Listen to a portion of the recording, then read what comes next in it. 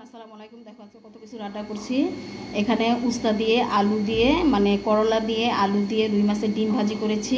আর এইখানে রুই মাছের বিরিয়ানি করেছি। পেঁয়াজ, কাঁচামরিচ দিয়ে একদম ভাজা ভাজা করে বিরিয়ানি করেছি।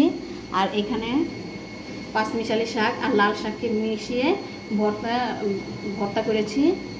এটা রসুনটাকে বাগার দিয়ে, শুকনো মরিচ রসুনটাকে বাগার দিয়ে ভর্তাটা করেছি। আর এখানে ডাল রান্না করছি। এটা হচ্ছে লেবু পাতার ডাল। তো আজকে এই আইটেমগুলো আমি রান্না করেছি। এই খাবারের মেনু আজকে আমার।